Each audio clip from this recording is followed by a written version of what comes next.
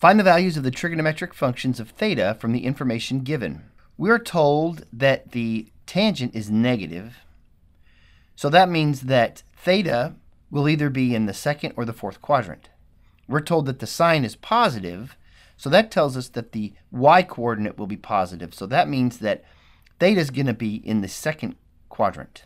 It's also going to be oriented so that the y coordinate will be six times the x coordinate.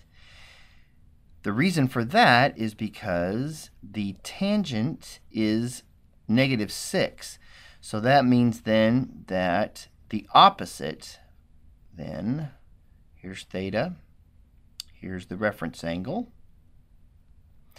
The opposite will be 6, and the adjacent will be 1 for the triangle, but negative 1 for the x-coordinate. Using the Pythagorean theorem, then, we would find that the hypotenuse of this right triangle that we have formed by dropping this vertical down to the x-axis will be the square root of 37. So x will be negative 1, y will be 6, and r will be the square root of 37. The sine of theta then which is y over r, will be 6 over the square root of 37, but we would rationalize that by multiplying the top and bottom by the square root of 37 and wind up with 6 times the square root of 37 over 37. The cosine of theta then will be x over r, which will be negative 1 over the square root of 37.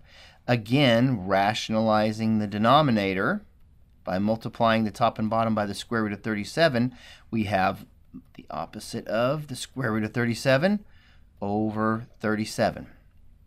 The tangent we know, tangent of theta is negative 6, and of course we find that by the ratio y over x, which will be 6 over negative 1 or negative 6.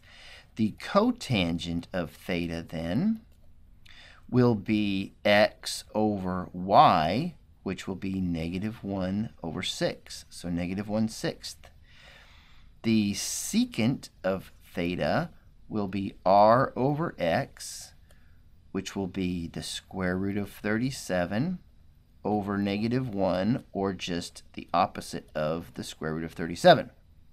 The cosecant of theta will be r over y, so the square root of 37 over 6.